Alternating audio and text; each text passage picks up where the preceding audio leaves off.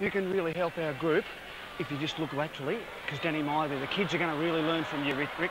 So you need to use them. Okay, so look inboard, look for that little chip to Danny, create him, bring him into the play, mate.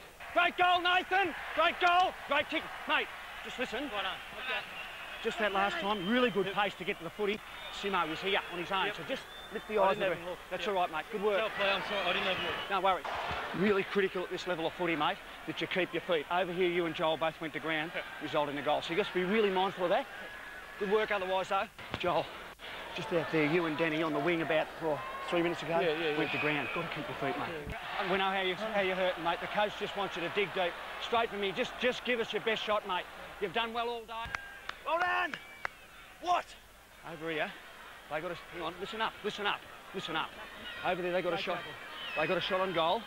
Okay, we want you to get us one back. That's what we want you to do, all right, mate? That's what you're good at. Okay, okay. Wayne, Pets to nodding. Back onto half forward, mate.